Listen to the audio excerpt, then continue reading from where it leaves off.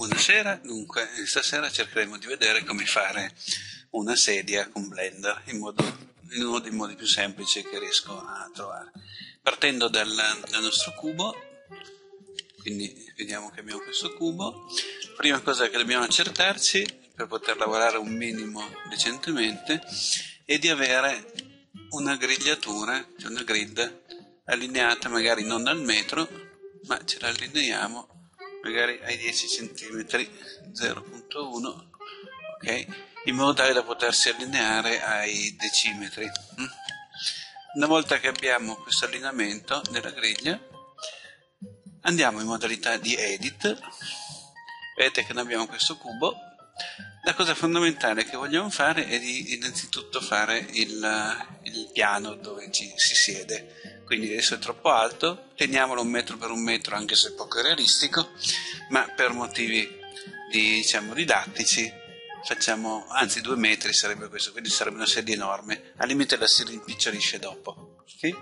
Quindi facciamo A, selezion- deselezioniamo tutto, andiamo sulla selezione delle facce, selezioniamo la faccia superiore e poi la abbassiamo in maniera tale da ottenere il nostro il nostro sedile. Premiamo CTRL per allinearci, come vedete, alla griglia. Eh, adesso è piatto, 10 cm, 20 cm e così abbiamo il nostro sedile. Dunque, eh, la cosa successiva da fare è fare lo schienale. Per fare lo schienale, adesso facciamo, togliamo la selezione, dobbiamo avere un loop qua. Diciamo che facciamo tutto di 20 cm. Quindi dobbiamo fare CTRL R per raggiungere un livello di dettaglio. Facciamo CTRL R. Poi clicchiamo col tasto sinistro del mouse in modo tale da spostare vedete la linea di separazione. Se teniamo premuto CTRL ci allineiamo sulla griglia. Quindi facciamo 10 20 scusate 10 no allora rifacciamo CTRL R tasto CTRL 2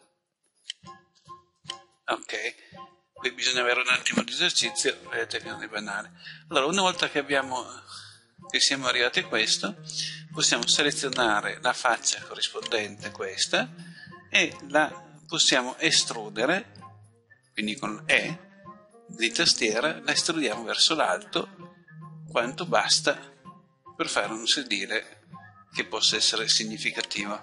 Mm? Quindi a questo punto abbiamo fatto il sedile e il, il di dietro della sedia. Dobbiamo fare le gambe. Per fare le gambe dobbiamo estrudere verso il basso, ma dobbiamo avere chiaramente la, eh, la parte, insomma, i quadrati da cui estrudere. Per farlo giochiamo sempre con CTRL R quindi facciamo CTRL R giochiamo anche col CTRL in maniera tale da essere precisi. Ok quindi avete visto abbiamo aggiunto questo edge loop ne aggiungiamo un altro qua e un altro qua in maniera tale da avere tutte le cose che ci servono. Facciamo CTRL R dobbiamo farlo dall'altra direzione. 1 2 ok e poi manca qua CTRL R Prendiamo CTRL. Ok, a questo punto abbiamo tutto il necessario per fare le, le gambe.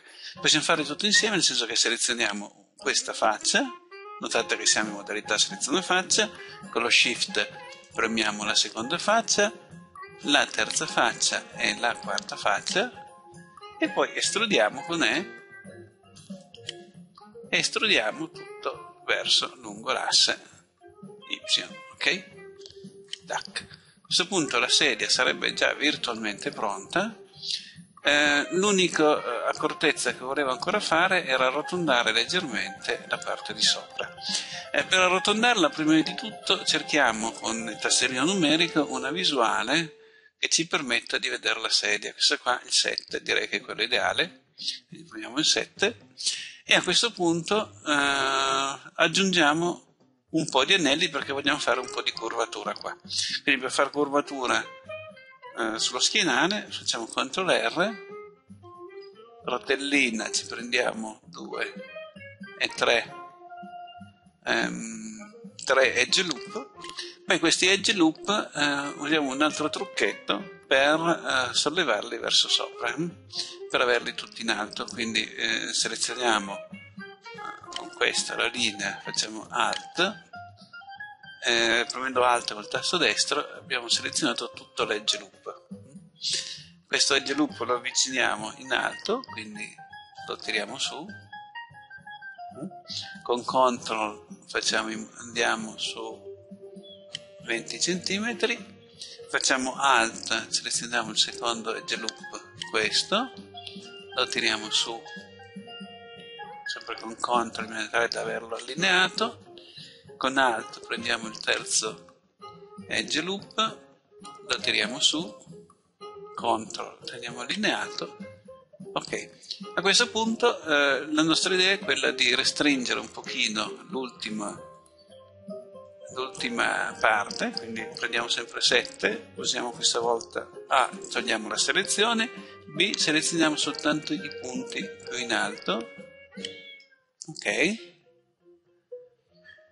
e poi lo stringiamo per ottenere il, per ottenere il top della sedia abbastanza stretto.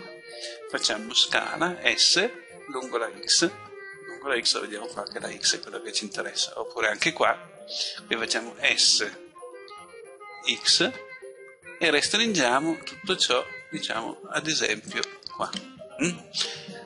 A per deselezionare, prendiamo la seconda fila di punti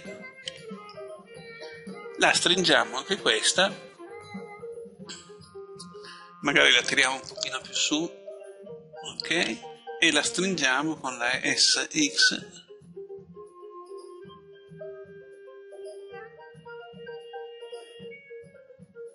ok. Poi A deselezioniamo. Con B prendiamo la terza fila di punti questa e anche questa la scaliamo leggermente sullo x. Basta poco. Ok. La, la, nostra idea è quella di avere vedete un profilo arrotondato. E questo è diciamo poi tutto quanto è necessario per fare una semplicissima sedia in blender. Mm?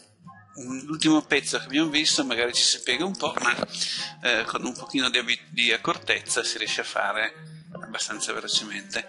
Grazie di tutto, ci sentiamo, ciao.